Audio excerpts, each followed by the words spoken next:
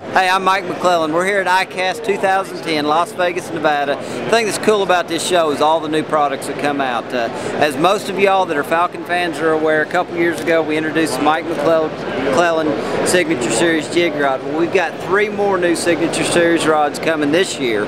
So everybody be sure and get on the website, check them out make sure that you pick up all these rods. All the Signature Series rods are going to be micro guided rods. And you know, the thing about the micro guides is they not only do sensitivity, but they increase your casting distance. A lot of features to the micro guides, and I, I think that's one of the things that you're really going to see about these new rods this year that really help your fishing is the fact that they do have the micro guides. All these rods are specific to applications. We've got a, uh, of course, the jig rod's going to stay in the lineup.